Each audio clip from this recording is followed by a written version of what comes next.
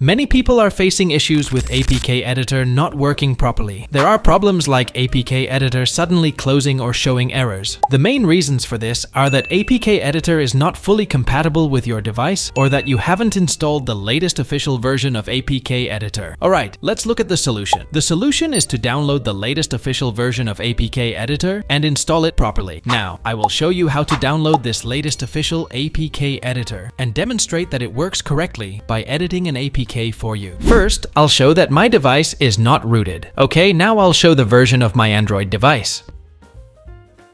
Alright, now we need the APK Editor APK. However, APK Editor doesn't have an official website, so I am providing the APK Editor download link in the description. Download, install, and open it.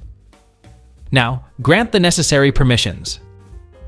Next, open the folder where you have the APK file and tap on the APK. Now click on Full Edit. Next, click on Decode All Files. Now click on the files.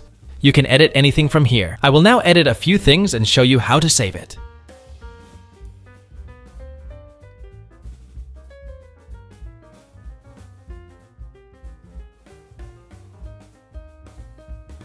After editing the files, click on the save icon to save your changes. After saving, press the back icon to go back. Now, click on the build icon on the top right. Wait for a few moments. Once loading is complete, click on the install icon, grant the necessary permissions for installation, and proceed with the installation. Okay, now I will open the game and show you that the value I edited is reflected in it.